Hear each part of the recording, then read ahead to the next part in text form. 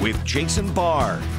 It'll be San Jose State and Ball State in the sixth annual Arizona Bowl this year. The storyline Will it be a one way ticket for Spartans head coach Brent Brennan? He could become the Arizona head coach.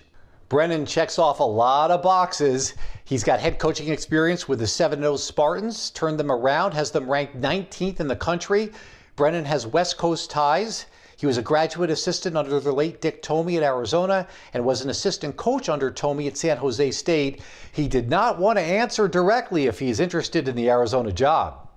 I think when those conversations start, it's really a reflection of what's happening here at San Jose State. It's a reflection of what's happening with our players and what this team has accomplished, which has just been, in my opinion, nothing short of exceptional. And so it's pretty cool to be a part of that and, and, and to see this team come as far as we have, you know.